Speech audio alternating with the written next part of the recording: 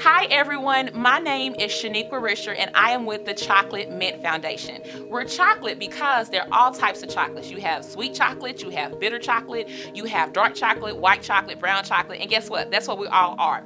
The Mint actually stands for Mentor, Invest, Nurture, and Train. So that's what the Chocolate Mint Foundation is. But what is it exactly that we do? We are a nonprofit organization. We started in 2009 and we started off as an organization strictly looking to help after school for, uh, programs for after school care because we wanted to be able to help those families and those single parent moms that actually needed a program for their kids to go to. But what we recognized is that once we started in the after school program, there was a greater need for us. We needed to do more things. And so from that, we actually started a food pantry. In the food pantry, we actually serve all of southern Dallas County.